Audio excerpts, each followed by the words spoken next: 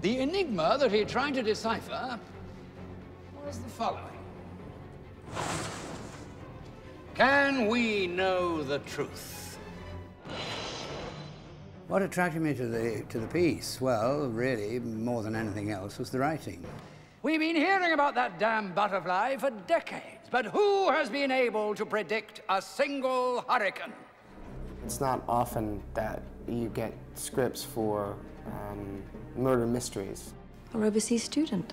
Why don't you show him to his room? And the student arrives and sort of like kind of awakens her to the, this outside world. I play the cello in the Sheldonian. It's the local amateur orchestra. Yes. We're not quite the London Symphony. I love the cello. Me too. Maybe it's because it's all I get to cuddle these days. What are you doing here? I live here. What's your excuse? I came here to visit an old friend. The movie is about these, this murder that occurs that both Arthur and Martin discover together, which sets off a series of other murders. I went there because the murderer told me to. The murderer warned you? Yes. I received a note during the conference. What did it say? Just one sentence. The first of the series.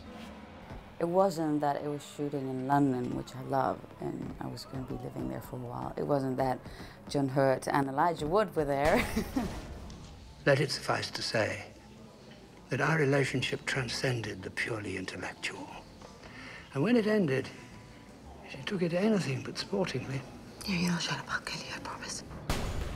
I think Lorna has a thing for very smart men. I think that really turns her on. Do you want to continue letting off steam on your own, or do you prefer company? Wednesday? Same time?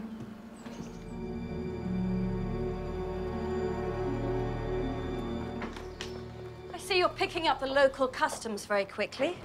And this is a thriller format, so it has to work as a thriller. So, you think I'm the killer? But you shouldn't cheat. You should be able to get to the end of the film and say, I should have got that. Because everything should be there.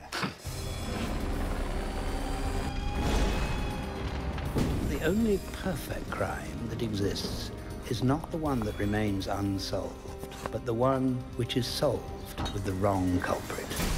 The Oxford Murders premieres in theaters Friday, August 6th. Can't wait? Now there are two ways you can watch it in your own home before it hits theaters. Order it now on demand or pay-per-view, or watch it on HDNet Movies, Wednesday, August 4th. To get HDNet Movies, call your provider and order today.